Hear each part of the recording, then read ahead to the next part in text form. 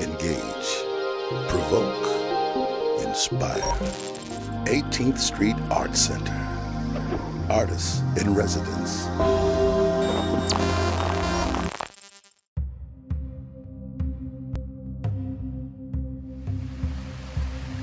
I'm Shahid Nadeem.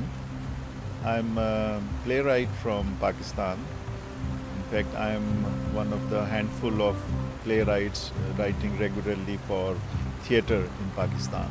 Most of my plays, I would say all of my plays, have a social theme. They always find some relevance to the people, our audience today, um, in some parallels or in some uh, symbolic or metaphoric ways. So uh, that's why the theatre group which uh, I established and I had is called Ajoka Theatre, which means theatre of today, contemporary theatre. I was uh, initially an activist, uh, wanted to change the world through demonstrations and through stone throwing and through defying uh, the uh, military uh, dictators in Pakistan. But at some point I realized that I can try to change the world more by writing and trying to change the mindsets, change the attitudes and thinking. I uh, joined uh, 18th Street as a visiting uh, artist in April 2001.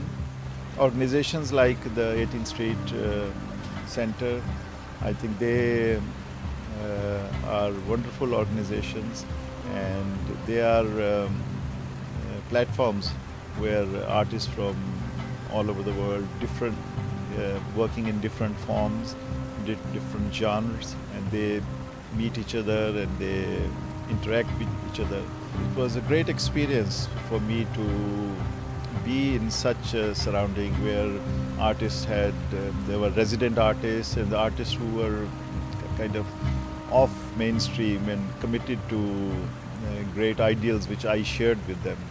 I want people to uh, change and to, to motivate them to change and to uh, create a better society, more just and more humane society.